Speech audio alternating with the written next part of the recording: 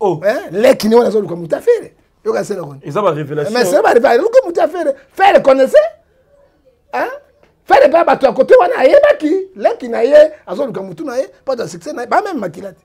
ah. ba même makila c'est facile soki a renverser fere fere ye c'est lui alingaki koma leader ya orchestre wana fere ayebaki yango moi fere alaki na inquiétude te Ferre ayaki okipe yango tangi na ketite ayebaki deja juda lescarot ela donc eza eh, combat eh, spirituel combat spirituel eh, mais efesi alobi na biso 6 verset 12 bitumba tozobunda eza na nzoto te eza molimo Ferre connaissait que bitumba ya molimo oni confusion mokuna alobi milimo to ebiki ekei ebiki oyo oh, kuna o oh, kosukosu kosukosu yango ebaka yango kaka keu keu keu yango osokaki keu yango ozomona siko oyo akufi na mikuwa ya tuberculose oyo milimo ekei omoni bango to bato ya lokuta ezali bafaux prophétie oyo bible ezobisa biso na jérémie 14 verset 6 à 14 ezali lokola bairezi Eh, banadeje oyo bazolekisa makambo na nzambe oyo bato bazoboma makambo na nzambe mayembelaka nzambe eh, koyembela nzambe ezoloba te mpo na kobalisa motu epesami na mibali epuis bazala basacrificateur eh, il faut ozala sacrificateur mpo na obali tomoi te mwasi moko depuis yesu aya ti akufi akei mwasi aya kobalisa oyo namona yango te eloko ezosa polemiki nini mobali abali te est ce que aza pasi akobatisa moto oui akobatisa moto parce que aza sacrifika te mais mwasi jamais abeni mariage na mona yango te omona yango te meme na catholique basala yango te protestant mpe basala yango te na biloko na bango soki bameki gigola mpa kiziamina enge ezala te nayebi kiziamina hmm. na nzambe oyo aye hmm. akoki kosala eloko mosusu parce que akokamata kaka luke 4 verset 18 atangi yango l'esprit du seigneur sur moi Il m'a envoyé pour libérer les captifs, de chasser les esprits des morts, les esprits méchants. Tant que tu as boy, fire Gigola, fire. Et c'est okay, abani ko sala processus, akotini na service intercession. Ba bombi ekuna ko batela ye. La fa ba gérer Gigola. Fa ba gérer ye, ce sont des aventuriers ba ça biloko. sont des aventuriers ntango ayebisaka bino ya baaventurier plein plein bakazani soki akei kuna fela apesi bango 50 mille bakopololi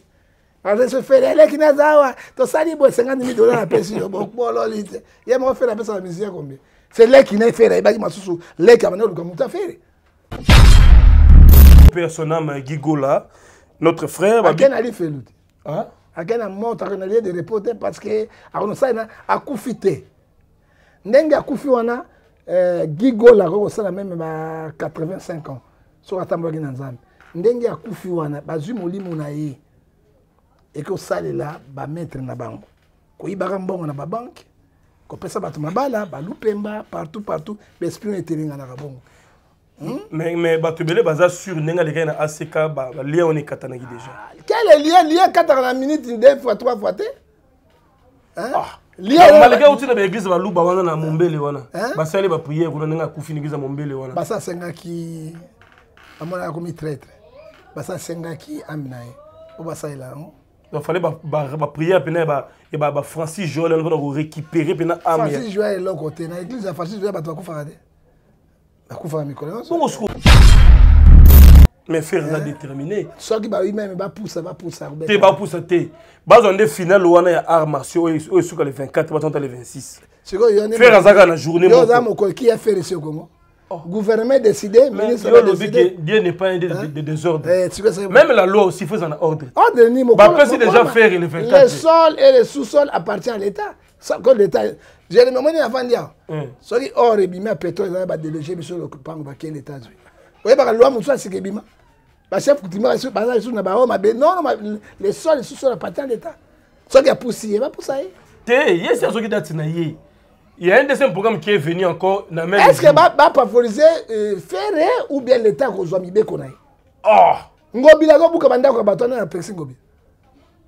napesi exemple leta ye wana aye kobuka biloko ya bandako azobuka awa tuna ngai moto nde napekisi ngobila awa parce que aza leta mais barespecte mpe meme euh, contrat basinetali leta te barespecte fere akosa bango combien mais afuti badroit na yeme afuti badroit par rapport à jacki chan 4 jours ekota combien de millions oh, bon naoketala kumba wana plein nzala na mpasi banosisa yango kuna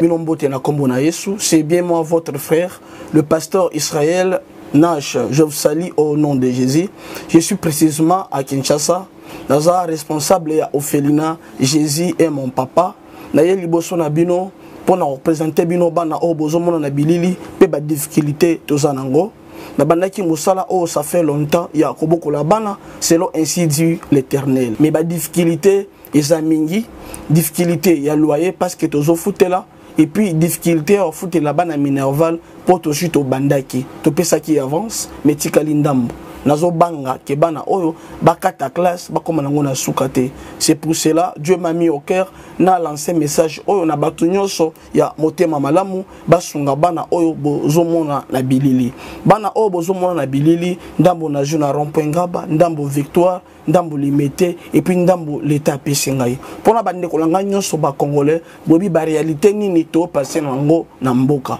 soki ngai simple individu nandimi kozwa bana oyo nabokola na ainsi dit l'éternel soki leta se décide tomona su bafaser na nzela te c'est difficile ya kosala yango nga moko c'est pour cela nazo lancer appel na bana nyonso ya nzambe mpo na classe ya bana oyo mpo na loyer na bango kolata mpe kolia na bango naosenga na bato nyonso baza cœur sensible mpe baza na motema kosunga basunga biso mpe basalisa biso toza na commune ya kalamu quartier kauka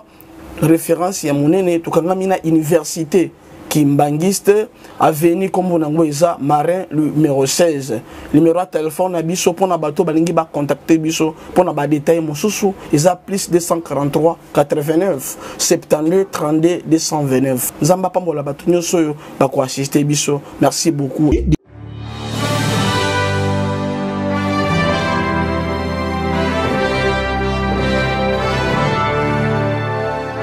Mesdames et messieurs, très chers amis téléspectateurs, bonjour et bonsoir, ça dépend de l'heure à laquelle vous nous captez. À tous les chrétiens, shalom, merci d'être là. Jérémy Lumba, les renards du désert, est en face de vous. Vous le savez très bien, l'artiste Guy Digital Gola vient de tirer sa révérence. Euh, l'homme, comme vous le savez, il fut un chanteur, Nagat Orchestre et un Gola.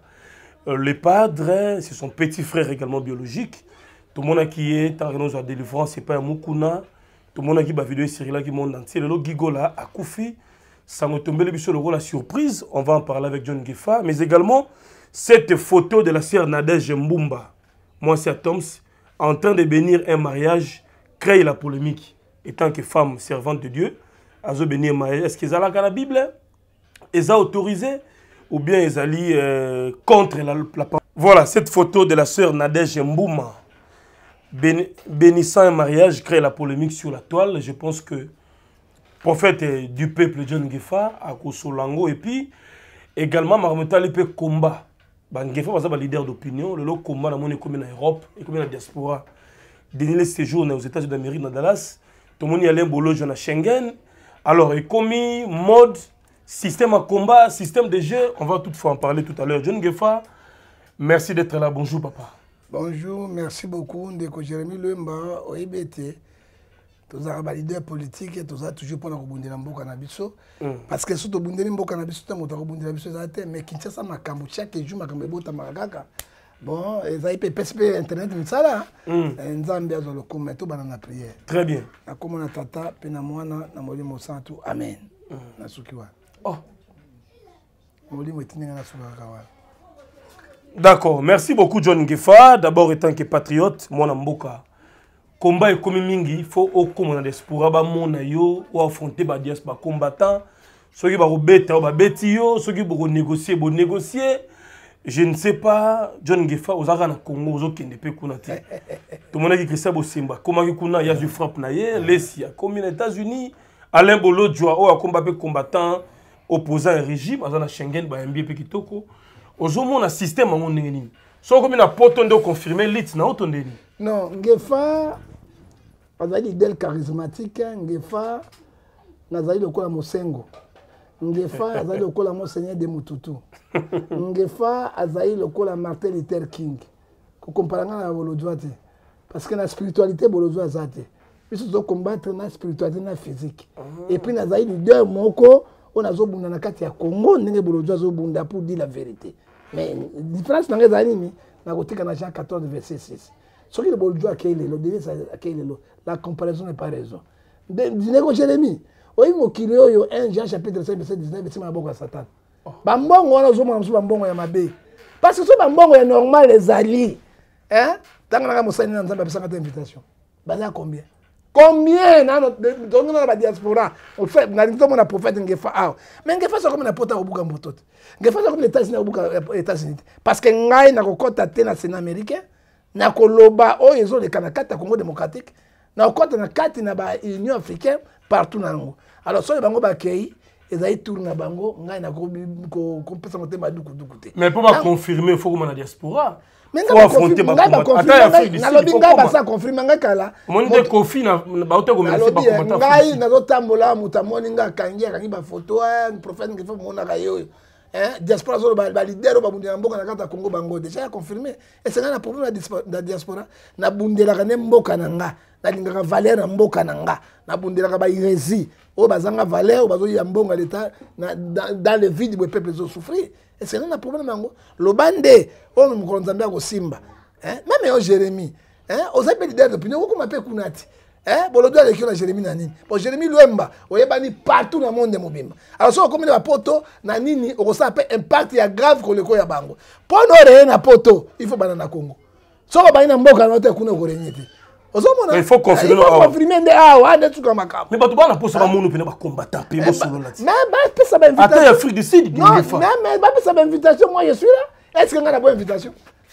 oyo apesi nga invitation oyo naboyi nani naza wana ngai nakosala losambo mpo na congo na badiaspora ya mibale nakosala baconférence de presse ya misato nakoloba verité ezoleka na mboka na biso je suis là eza tour na bango na makambo na bango eh, papa biso tokosala presse na yango te et je suis fier aussi nazala na congo démocratique na voyage parce que congo c'est mon pays voilà le congo est notre pays notre seule patrie eza congo merci beaucoup ça c'est très bien dit l'homme de dieu mais oh, tant que prophète lelo photo esali succès esali polémique oyo euh, la sœur nadège nadège mbuma molongani ya tomse mbuma alors azwi idée ya ko ya ko plutôt bapesi ye charge wana responsabilité abénir mariage bato bakopolémike yo oza prophète quand une femme comme ça azo bénir mariage ezali interdite na baloi na bino la bible condamne ça ou bien quelque part na deja beti pena bien babeta na bible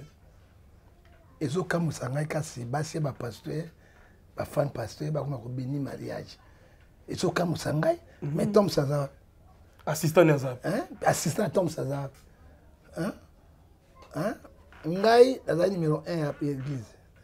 deuxième numéro 2 c'est pasteur fiston bazir troisième ekei ti na suka na yango si moi je ne suis pas là deux pasteurs balandi fiston baza hein? alors oyo ezali lokola bairezi banadege oyo bazolekisa makambo na nzambe oyo bato bazoboma makambo na nzambe bayembelaka nzambe koyembela nzambe ezoloba te mpo na kobalisa motu epesami na mibali epuis bazala basacrificateur il faut ozala sacrificateur mpo na obalisa omoni te mwasi moko depuis yesu aya ti akufi akei mwasi aya kobalisa baoyo namona yango te eloko ezosa polemiki nini mobali abali te estce aza pasi akobalisa moto wi akobalisa moto parce que aza sacrifica te mais mwasi jamais abeni mariage namona yango te omona yango te meme na katholike basala yango te protestant mpe basala yango te awa emoni boye ezali eh, oyo tozoloba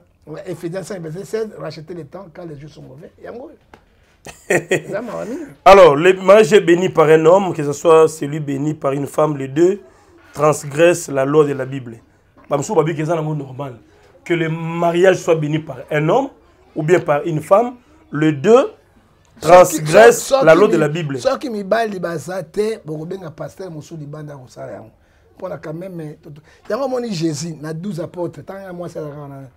ah. hmm? ntango ya po yesu ayaki mpo na bato ya papa eh, tanganga na o oh, marte apôtre o oh, pauline apôtre eh, thomas apôtre omonaki ba nyonso 12 azalaki mibali bakomaki 73 72 ntango yango mwasi azalaki na kati nini basi baza toujours na service ya koservir mibali na makambo ya bonzambe non baza devant na bango mpo babalisa alors une question le jour ya pentecôte le saint esprit ekitalaki mobali to mwasi saint esprit ekitalaki bango nyonso mais na kati ya batribution dieu toserviraka ye il n'est pas dieu de désordre mais dieu de l'ordre ekitalaki bango tolobaki milongo na sika mais bango tu bakomi basacrificateur te bapaster te eh, saint esprit akitaka na moto yo alingi oyo azobanga nzambe eza soki soki akiteli yo directement olobi olange okomi paster okomi kobenisa okomi kosala makambo non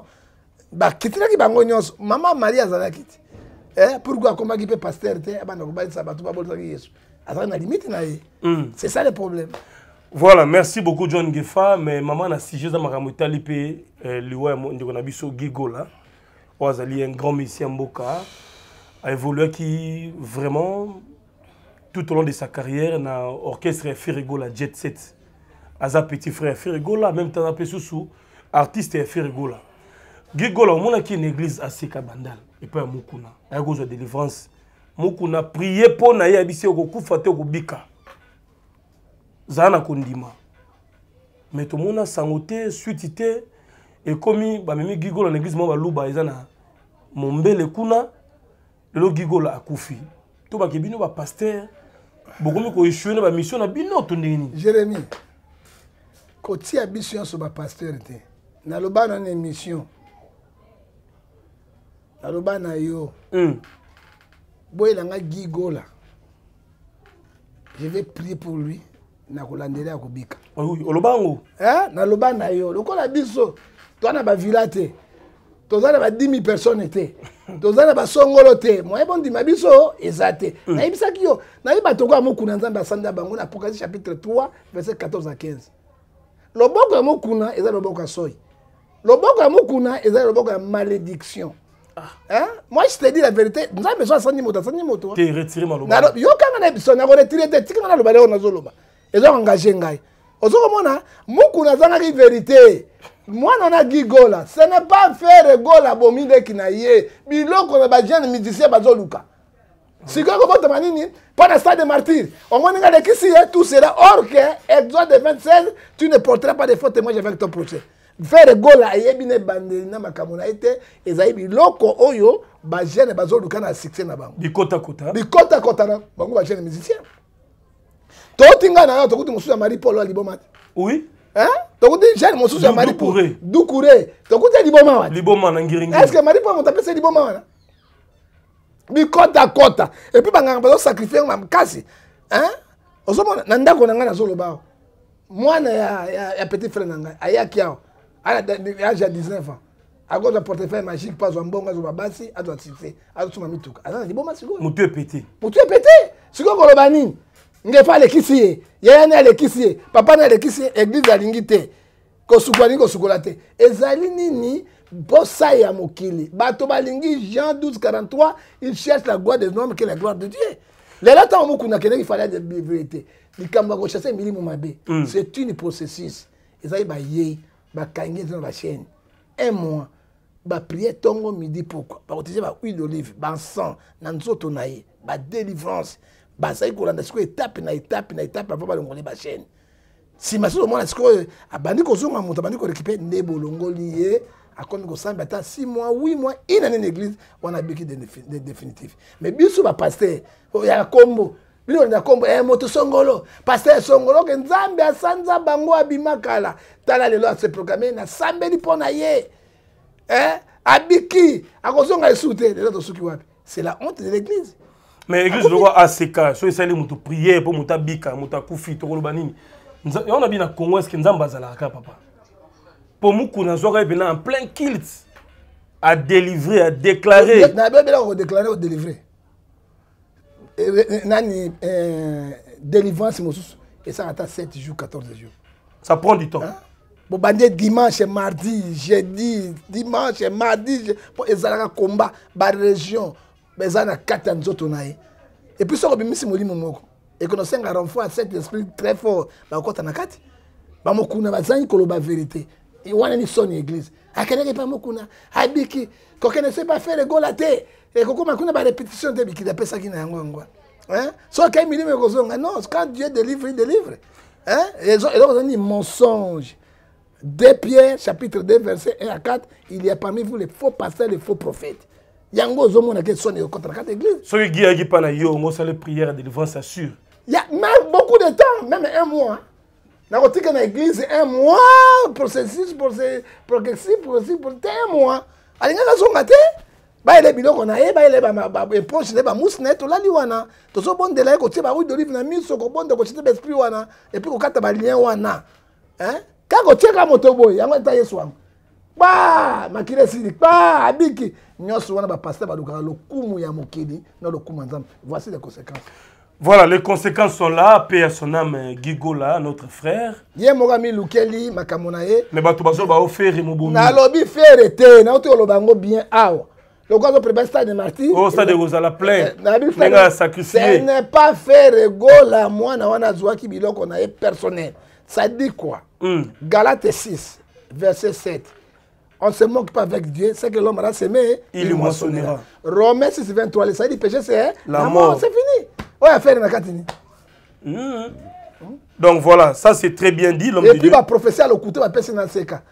o toya mpo topanza famille te mpo fere okoya musicien nde beye moto abomaka orke fere ya bato ayebi eloko wana te malgré fere azalaka ingrat ata olobeli fere bien boye azali toujours ingrat ingratitude moko monene na fere koleka meme satan soki yo olingaka fere asani atongela église ako fere nasengi fere te nalobaki moto atonga yanga église ezali maître gims fere te azala reconnaissant fere bakangi na poto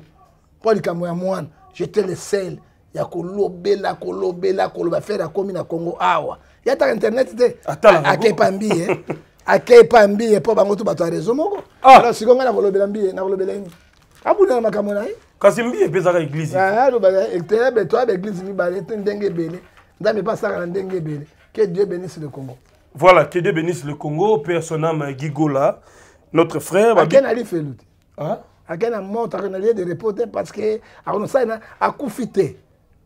ndenge akufi wana eh, gigola akoki kosala meme ba 85 ans soki atambolaki na nzambe ndenge akufi wana bazwi molimo na ye ekosalela bametre na bango koyibaka mbongo na babanke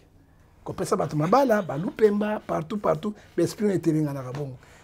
Hmm? mais, mais bato ebele baza sur ndenge alekaki na ack balien wana ekatanaki déjà ah, quel lien lien ekataka na minute nde fois trois fois te ah. malgré outi na baeglise baluba wana na mombele wana basali bapriere kuna ndenge akufi na eglise ya mombele wana basa asengaki amonaka komi traitre basa asengaki ami na ye po basalela yango donc fallait bapriere mpena ya bafrancis joel wana mpona korécupere mpena ame francis joel eloko te na eglise ya francis joel bato bakufaka te bakufaka mikolo nyonso bongo sikoyo mutu eloko te nalobi eh, ministre azokufa kaka botozo na baeglise na congo papa même ici bapastere baza mais seke l'homme ra semini moisson ya galade siseti ntango bakendeke banganga kuna bapastere bazalaka ah. bazwaka barene na bango bapastere bazalaka makambo tu pastere na pastere na pastere na niveau na ye ebatiki ete baneema sika te nda po oui neema bato bakufaka te oyi bato boni bakufaka na eglise neema sika te kende na morke sikoyo kombie bana kata morke lelo kaka neema wana vie ya moto moto abatelaka nzambe me nzambe asaka na ngolu na moto oyo alingi oyo akoyeba nzambe na repentance sincere guy gola asaki juin chapitre 2 verset 12 hein? ase repentaki nécessairement na boverité mpo loboko na nzambe eza kati na ye c'est ça le problème ote okosa fela bato makambo Voilà, entre-temps, il faut retenir que le 24 juin 2023, Firigola sera au stade des martyrs, malgré concert en groupe, ils ont combattu. tantôt ya des programmes oh il y aura les sports kuna art martiaux na stade de marti gestionnaire ya stade de marti na ministre sport o kabulu bopesaki frere le 24 juin abeta conseil lobi tomoni sous publicité moko na rtnc au 17 au 24 juin il y aura un événement kuna ya art martiaux jackie chan akoya sikoyo papa bazo combattre fere sikoyo aza jaki shanga ye oya biso na kati shai jaki shanga ye osala nini eloko osenga na vie eh? eh. mpo oresure makambo hmm. ya liboso galate ayebi biso 522 hmm. il faut avoir la pensiance ya ah, mibale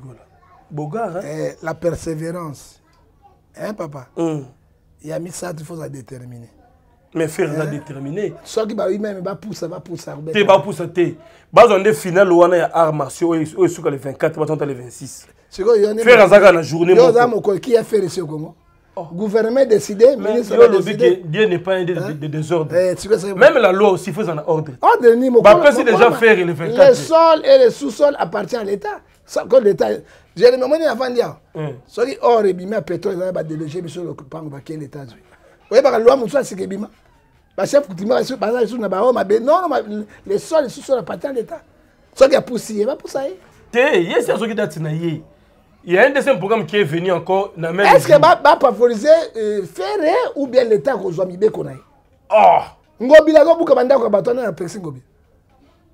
napesi exemple leta ye wana aye kobuka biloko ya bandako azobuka awa tuna ngai moto nde napekisi ngobila awa parce que aza leta mais barespecte mpe meme euh, contrat basinetali leta te barespecte fere akosa bango combien mais afuti badroit na yeafuti badroit par rapport à jacki chan 4 juillet ekota combien de million oh, bonaketala kumba nzala na mpasi bana osisa yango kuna alors ta mosusu na gouvernement congolais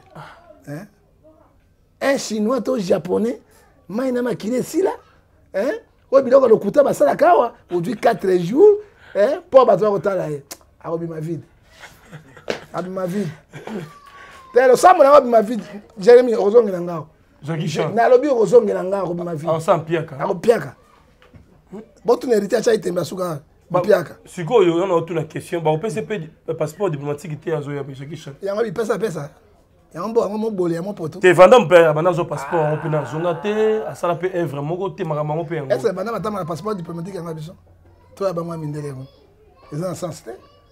hein jemi biloko mosusu ya to favorisaka bana mboka ah oui hein to favorisaka bana mboka biloko mosusu bon moi fere gola akozwa mwa ndama mbongo mpe abisata mwa di bato na batele abaki akopesa na, na armée fardc oyoki akoapuye fardc nde ndenge basalaka fere akoki koapuye fardc te fardc moto afundisaka yango leta na baetat mosusu c'est la guerre fere na mondoki asomba ya million 10 million mondoki moko Hein? Oyi ba obi obetaka ba ta ta ta mi tuko ezala combien? Ba 25 millions de dollars faire aux angwa. Ah pesa ba ta mai. Ah tika mai ya papa mba wana papa. Botika bino so kumisa biloko papa mba. Wana time na ba état congolais na ba coopération ya ba état. Eza ba faire gola te. So posa beta sali mati pa kosa ba FADC apesa bango 10000 dollars ondenge fali asala ka wana etali bango apesa ba bango. Apesa 10000, alobi apesa 100000, 100000. Hein? Mais mais ça to landela otanga ba papa ba 10000.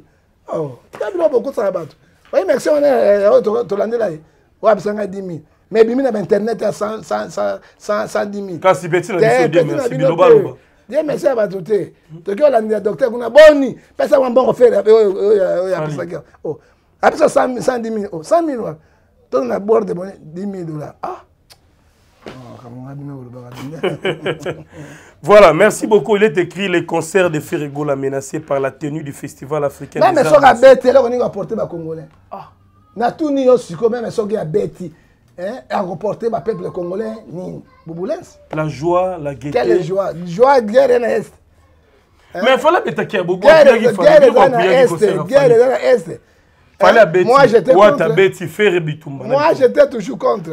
nazalaki contre yango jérémie mm. nazalaki contre makasi eh? nazalaki contre yango makasi vrai contre makasi parce que ekoaporte peuple congolais eloko moko te eloko toza yango sikoyo makanisi na biso mayele na biso totala na est ya congo parce que nous sommes balkanisés pa biloko ya pampamba wana voilà denis lesi yo apesi yo mbote na états-unis akomi bogar te bogar te namoni bakomi mokolo motu na nga bogar video akomi mokolo Eh, bon chat eloko pamba ezali ngonga na ye qu'est ce qu'on pourrait faire papa oyebi bato mosusu balingaka bato kaka na ndenge bakuteli moto Hein? bato mosusu balinga bato ya logique bato mosusu non logique ndenge akuteli bato bon c'est bon hein? moi mpe na états-unis makasi ezotumba ye mabe alors entre nous olobi ke le pays eza en guerre c'est que trois journées mpe ya prière ya kizemi na kibila ba repousse en 2024 kokomprendre se nzambe nde bafadesi solo bazali mpo na nzambe hein? nzambe aza au-dessus de tout il est omnipotent omniscient omniscient hein? azali christocentrique tokotia mboka na maboko na nzambe yango nzambe atembisaki diami na kibila trois jours na stade de martyr mpo ete milimo ebika mm. biso tout bachrétien biso nyonso bapaster oyo ayebi ete asambelaka nzambe vraiment na août après francophonie biso nyonso na stade de martyr trois jours mpe kosala joel chapitre 2 verset 12 repentance ya solo e ezai 61 verset 1 à 4 mpo ete nzambe akangola congo na maboko ya banguna mais kizami na babik ya sila babiloko ya kala wana si ton dieu mort ese le mien aza na moto ya kosakana te parce que mokolo nakotanaka na kiziamina na biro na ye nangai nakota boye nayoki moto eh, na nzoto na ngai tosololi moto tobimi moto dieu ma dit soutenir moto oyo aye mpo na kokangola bai bon sono aye kokongola bato ya milimo mabe moto kaka eh, gigola ifale bokende epai kiziamina eh, kele reye bino bosali ifale bokende epai na kiziamina il est propre tu sais monsieur proverbe 22 verset 1 La bonne réputation est plus que l'argent que l'or. Ecclésiaste 7, verset 1. Et le Bible, la bonne réputation, c'est plus qu'un parfum de bonne odeur. mm. kidiamina toyoka na biloko wana te biloko ya papa pamba bamaki yo naba azalaka na yango te epuis azalaka soki abeleli nzambe na ye jesus christ jesus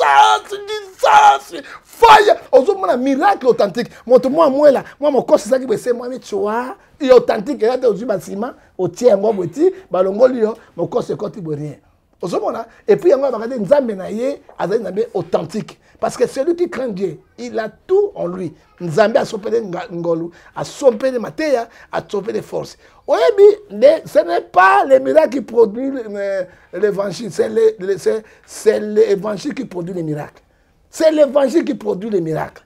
au nom de jésus avec bon évangile nzambe akofungola kongo yokela bango mawa yomona kizamina biloko na bango soki bameki gigola pa kizamina enge ezala nayebi kidiamina hmm. na nzambe oyo aye hmm.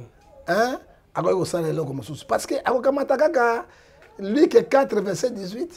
atangi yango l'esprit du seigneur sur moi il m'a envoyé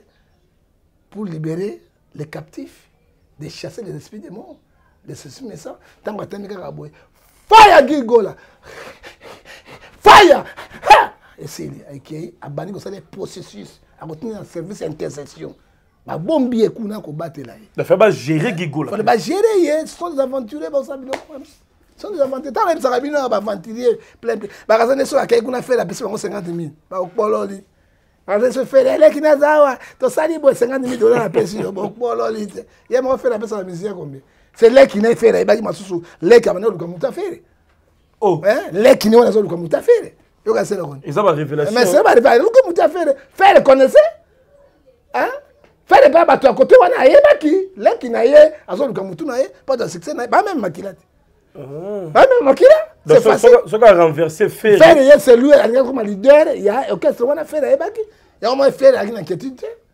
ferre ayaki okipe yango ataki na inquiétude ayebaki deja juda lescarote ela donc eza eh, combat spirituel combat spirituel eh, mais efesi alobi na biso 6 verset 12 bitumba tozobunda eza na nzoto te eza molimo ferre connaisseke bitumba ya molimo la folie c'est quoi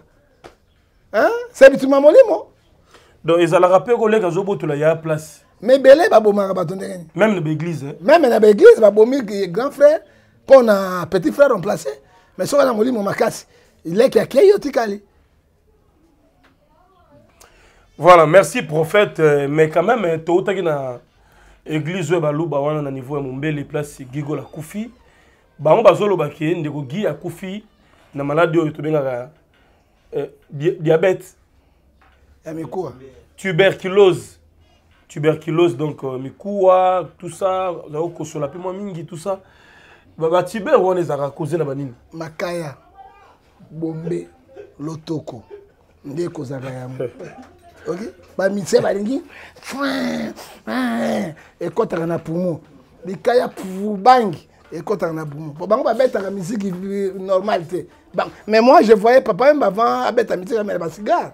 basigare oyo akwiti ya makasi je regarde papa wemba eh, natuni abi mozwi azomela kui abi te esala ngai mpo nafungola ngai miso ozomona epuis ya mibale soki omoni confusion mokuna nabi milimo to ebiki ekei ebiki oyo oh, kuna o oh, kosukosu kosukosu yango ebango kaka keu keu keu yango osokaki keu yango ozomona siko oyo akufi na mikuwa ya tuberculose oyo milimo ekei omoni bango te bato ya lokuta ezali bafaux prophétie oyo bible ezobisa biso na jérémie 14 verset 6 à 14 mais mais tiber ezwaka mingi bamikolo oyo okomana bajeune boye papa bamusicien bon nayebi te hein. na kongo petosiko malewa bino boliaka oyo basani na basuka yango na sans degre celsis napesi bino tobika na ngolo ya nzambe malewa bino kolambaka moi moi sani oyo bameli fo basomona mai ya moto sans degre celsius azwi katika likolo batie bo apangusi atie mikrobe eza wana si nous vivons aujourd'hui nous vivons par la grâce de dieu soki te tout le monde aza na mikuwa ya mibale toza na virus sida awa mm. oyebi batondezi tondezi bakataka biso suki na na, na, na salon de coiffure hein? batondeze wana est ce que badesinfectaka ba yango comme il faut comme il faut akati moto tondeze aye asali yo epuis soki okata mandefu makila etangaka mais moto ya sida bakati yo mais ozwi yango te c'est somme 127 verset 2 à 3 c'est dieu qui nous protège c'est dieu qui nous protège c'est vrai na mboka oyo tomona bapartouze tozomona kindumba prostitution Somme. sikoyo mpe bato baboyi mpenza mingi kosala couple hein? ekomi kaka partous partous partous na partous kaka kosimbaomona misapi na kosimbasimba mawa trop a surtout bagene balingi baji oyo trop bagene bango bakanisaka nini eza mpasi mingi eza eloko mopepe moko asikeyei mais biso en tant que bareligieux na l'état tozo condamne yango na ephésiens 5 verset 11 voilà il faut une prière de, de repentance pour tout congolais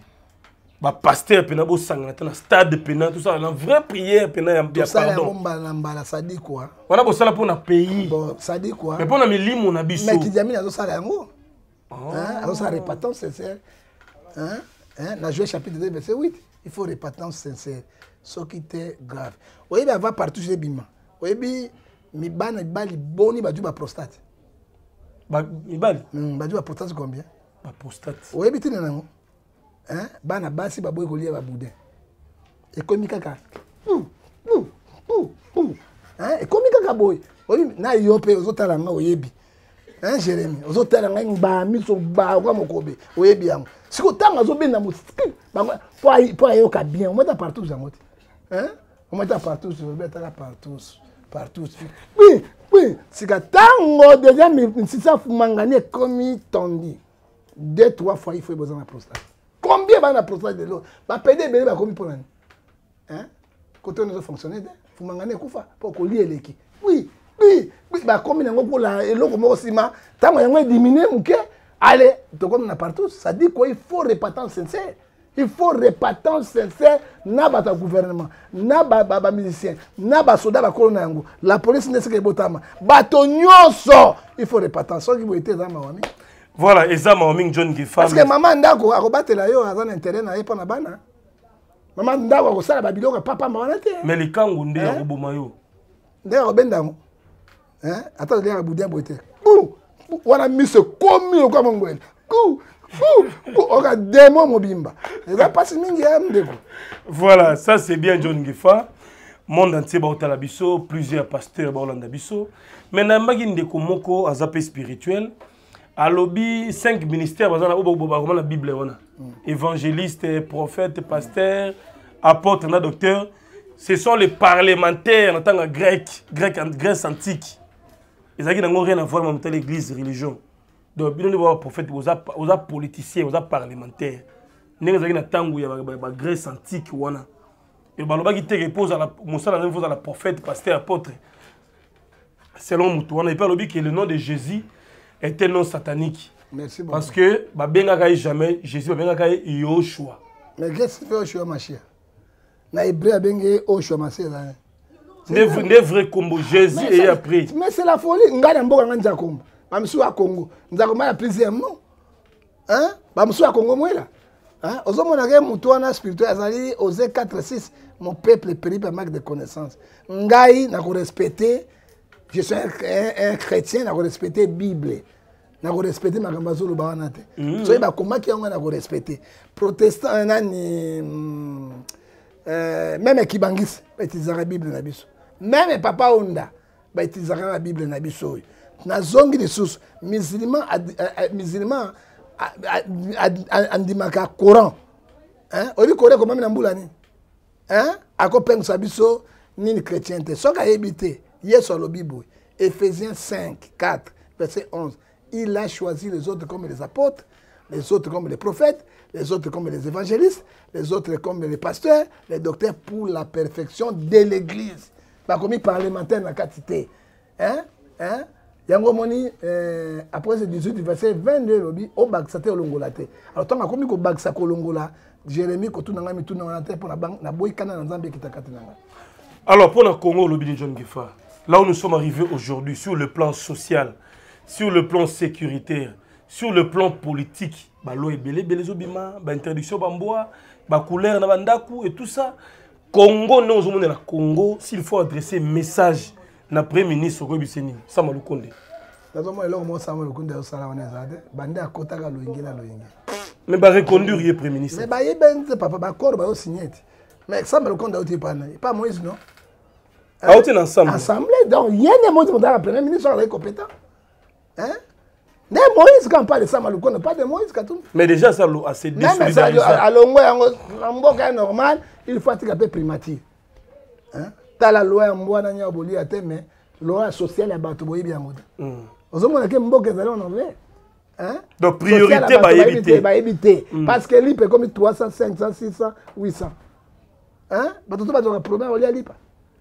eh? sociale ya bato bayebi te biloko ezali priorité mpo na bato eh? bango bazoyeba yango te basala biloko na bango sadi kua eh? pays deja ezali na rien alors ndeko safu daniel alobi cette fois-ci na opposition il faut baappuye candidature ya moïse katumbi parce que 2018 baappuyaki martin fayulu vrai opposant ya faci lelo eza moïse katumbi oyo akozala aline comme étant candidat yo opesi mpo na vino ninjo eh, safu bazali bamalanda ngulu safu un député avandaka na mabele na veste bazolela azokota na parlement makolo ngulu parce qu'il ne mérite pas yango omoni na congo chance eleo kopamba namona député oyo abengi homme d'état mibeko na milieu sacré oyo abengi parlement akɔta na ngulu asalaka ezalaka te soki ayo opinion ya, ya katumbi bavote bapuye ye ezali ye moko me biso toyebi ete loi eleka eleka te na article 72 hein? c'est tshisekedi qui passe ah. hein? okomi okomi trop fanatique bato bazobenga nga tshisekedi yango fanatique abenga nga yana biso verité tshisekedi aza bino na mokolo moko nako bafanatiki so nakomi abengi nga abenga nga nabundelaka mboka nazoyeba eloko nazoloba jérémi 2006 bemba na kabila oyo azwaki nani c'était bemba bemba alekaki voilà 2011 papa tala bosalaka baresultat mosusu botalaka nde makambo elekaka na afrike te papa 2011 tshisekedi le père quels sont la réponse en paix mm. na kabila oaleka ye nani tshisekedi le père mm. 2018 manda ekangi kabila asali okoki kosala tshisekedi asali manda moko président akuki kosuni auti wana nani anomaki ye tshisekedi président aseni nani atiaki ye tshisekedi sikoyo yo soki nani asimbi armée hein sikoyo kotuna moto ya ndenge wana korate election ndenge nini ese mitu na bino esalaka hein bovote bovote te il passe mais bilan na ye bilan mais bilan etali te parce que toza na guerre hein? attention pays ezali na guerre agressé pays ezali agressé président azali ye un contre tous botu batikali wana nyonso baya bamafia te bazozwa mbongo fele bakosaka président président azobunda ye moko il peut compter moke na bagouverneur na ye 26 province mais non de ministre bavandi awa basalaka eloko nini bipulubulezunekona falu ya kozwa fayulu ateli wana ya kozwaka lisusu te chef yaka mbala bo mokote yo oza prophète pardon kodivise te nalobi na kodivise nation te bona divise nation te fayulu na mozito mama moko tata moko bakabwani ndenge ideologie eza lisumo moko te amose trois to elobini mozito ake parti na ye ye ake oyo ya ye oyo alongoli mozito mozito mpe alongoli oyo sekasavubu contre lumumba esukaki nini hein? comment vous raisonnez fayulu fayulu fayulu déjà akei hein? lelo boloto so akeke na fayulu me boloto aza tourne ya europe te ah, boloto mpe atiki atiki fayulu papuni nzela na ye oyo batikali kuna ezali mawa na bino eloko nini ozoloba nde nakobima kati na bango kuna katumbi akosala nyonso akozwa na ye te 2028 soki tshisekedi alingi akende mpo yo sobergani nga bemba etikala awa oyokini makambo bemba tikalaodauphin eh, fatise bemba bokotala yango na 2028 mais oyo bolongola na yo nazoloba mpo fati abengaka ngai te nayebi mpe fati te parce que tosololaka te eloko te ya solo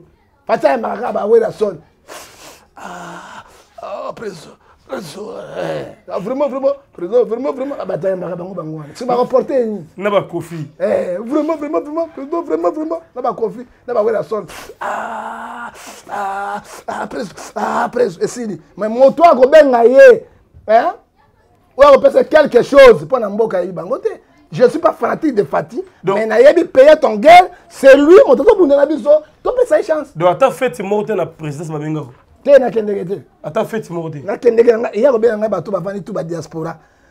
azingi bango bayebi ete 1200 dollars bazwa ba 200 000 dollars na caisse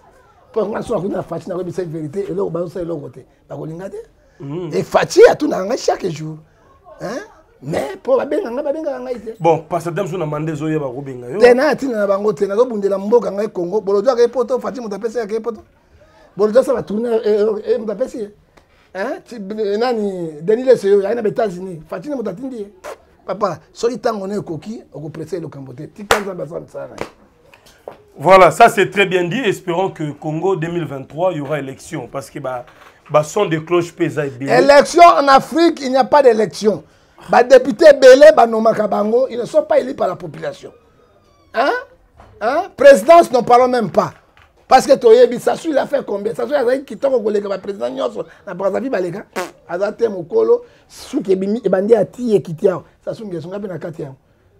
Paul Biya, Kokobare, pendant 55 ans de pouvoir comme chef d'État, Yewan, Matama tout elembi,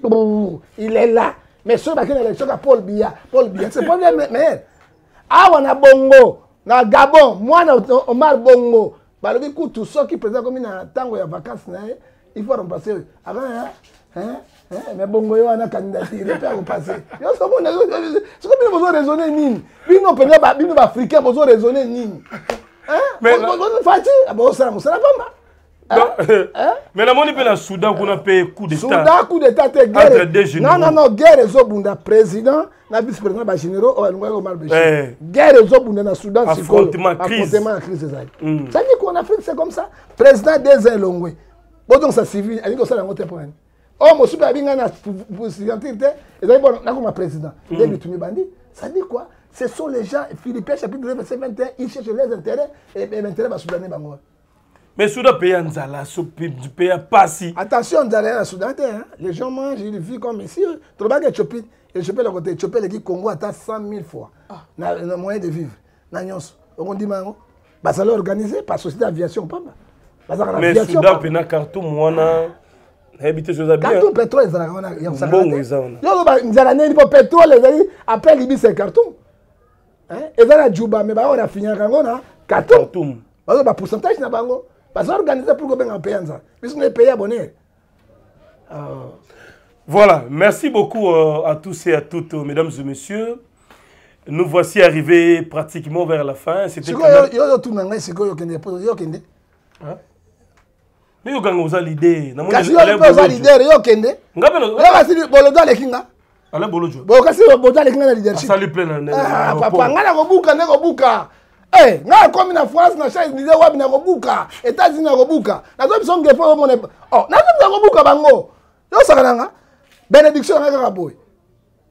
pelenge nde elongwe kaka boye ta nakomi ko na live nde na kati ya oyo na bezi yango nde papa romi abe atala osakana mbwela ya banda ata likolo sutani eh, eh, eh, na papa ko na religie ale ya civil okopana ngai na ye ngai na nganga nzambe mais namoni bolojwa kuna succès na rapport na badrapeau emati papa wana elobi eloko te hmm. wana elobi eloko te leadership nde ekontaka hmm. ozomona nayebi bolojwa très bien ye pa yebi yo eh, c'est mon frère tobundaka ensemble mm. soki ye akei parce que aza na vérité mais ngefa aleki ye na vérité mosika parce que ngefa aka na intérêt ya motu te mais azalaka na kati naka na sentiment te mais lesi mpe dalasi kuna mpe tosi namoni dalasi mpe bazokumbasikoyo eh, ayadi flaire na ye kaka ah mvuluzi denis est acteur ya film voilà charo nous sommes en direct euh, merci à tous nos compatriotes eh. le président pedro mutu leader ya jeunesse association main dans la main Depuis la ville Fontaine, mais également à travers toute la France, Pedro Moutou, leader à jeunesse, Maman Clotilde Bondo, le plafond des Rennes, je pense à Louison Bala de Madrid, les célèbres Dien Zundu na Washington, euh, Boss et Chicha Chimbo na Turquie, et puis euh, merci na Bijou Ngefa, à niveau à Suisse, le conseiller Papa Philippe Kabouikou na Fribourg, euh, bato nyonso botalaka biso mama sarali na wembi na états-unis mama fifilongo na londres je vous salue tozalaki na prophète ngefa par rapport ya actualité de l'heure vous savez que na congo chaque jour makambo na makambo plusieurs réalités comédien akufi musicien akufi babelaki liboma tout ça baréalité eza mingi mais loko mpe toremarke mingi na jeunesse na biso lelo surtout bastar bacélèbre balingi mingi bikotakisi nde ezoboma bango jérémi showbiz vie appréciée dubaï okende kaka schengen mm. en fait eza mawa mingi pour quelle finalité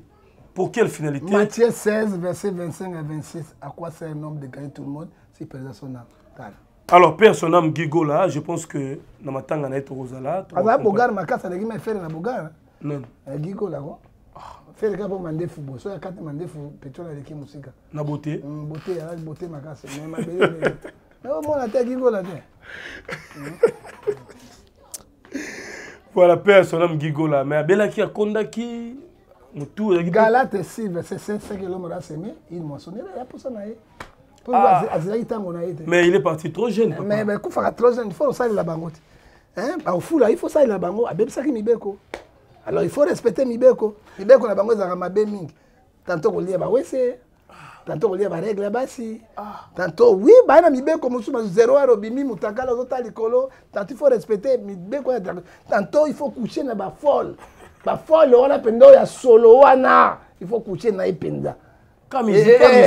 mosusu mpenza boye fole asukaka monoko te lolemo te to na mboko ale atia lolembwe ozobenda ngai fiko fiko fiko mibeko oyo mibeko ya sata apesaka bato sata yo sata yo ah eza mawa mingi mais mibeko ya nzambe ezali moke les gens ne fait pas respecter voilà les dix commandements eh, dix commandements romains 6 23 ezali péché c'est la mort akei trop jeune trop jeune gigola tokobosana ye te atiki bavoix na ye bavocal na ye bien plusieurs vocaux asali ekongoni babosana ye te asali kongo nini mpo babosana mais ayembi ayembi eloko nini ayembi oyo etikaka na motu ya bakongole ah kerite pesanga vocal moko ya gigola ayemba asala bavoko ebele voko esa eloko te akomposa bachanson combien le zaï se mon pays madiata oyoki wendo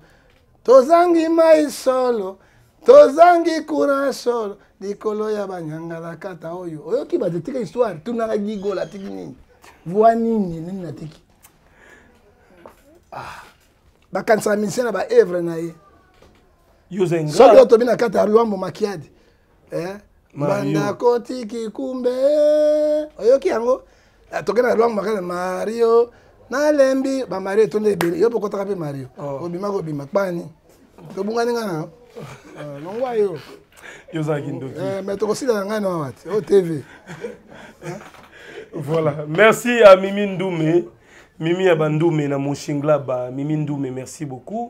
Sema Mayasi, femme légitime, agence Mayasi, Forza Italia.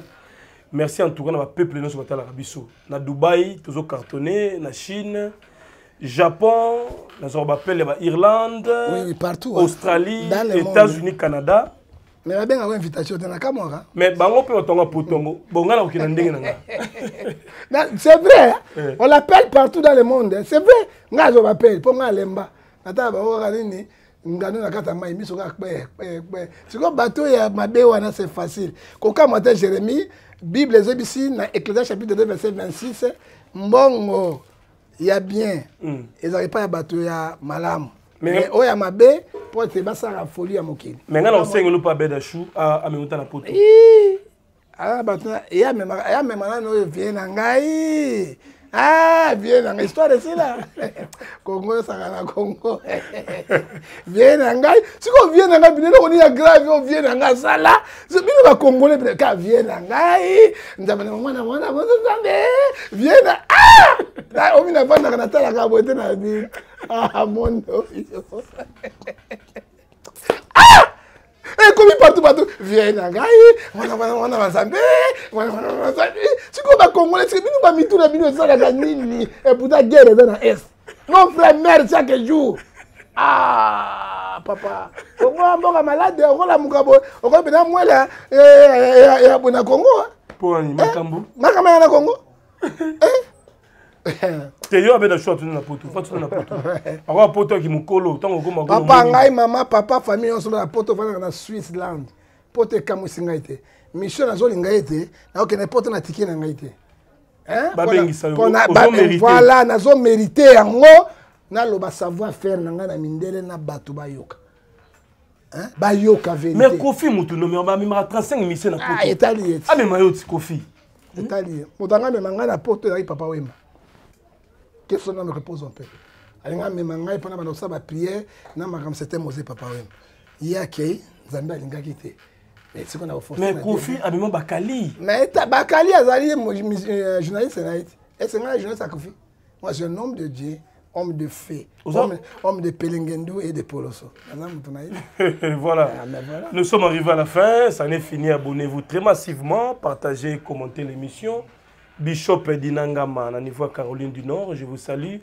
Pasteur Olivier Tabala depuis London City, Joël Moulongue qui est à Birmingham, Serge Louko qui mannequin à Paris.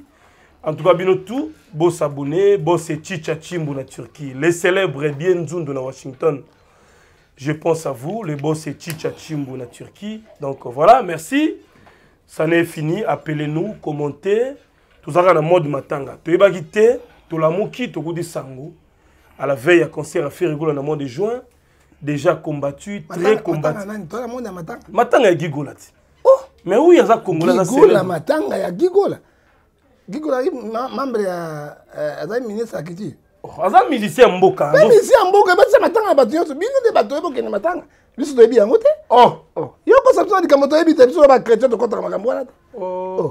tika biloko mais akomaki mpe d'un frère abongolaki motema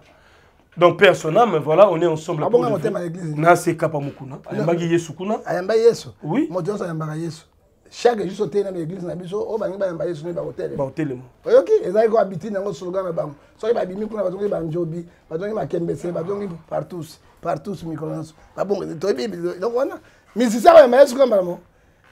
avanda te ayoka mpena mate ata inane ata deux na matoi na ye ah, boni bozosakana na nzambe boyeko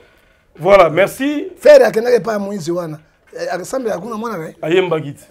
mbala moko mwana esu azonga esu kuna na bai fere akozonga kuna deux fois te voilà merci ngefa osisi nga na sisi tatu kaluji epai ya katiere wana oyebi ye evangeliste nani azonga lisusu kuna eh, wera akende kuna azonga lisusu kuna et pourtant wera mwasi na ye passe église ezali na njombo awa ndenge ni wera yaka na église ya mwasi na ye esila mpe atonga révélation mosusu apesi bino yango c'est-à-dire quoi ce sont les gens qui manquent avec dieu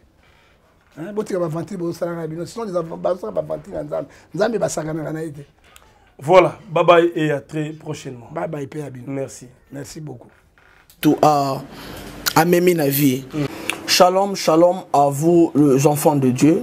na pesi bino mbote na kombo na yesu c'est bien moi votre frère le pasteur israël nash je vous salue au nom de jésus je suis précisément à kinshasa naza responsable ya ofelina jésus est mon papa naye liboso na bino mpo na kopresente bino bana oyo bozomona na bilili mpe badifficulté toza nango nabandaki mosala oyo oh, ça fait longtemps ya kobokola bana selon ainsi du l'éternel mais badifficulté eza mingi difficulté ya loyer parce que tozofutela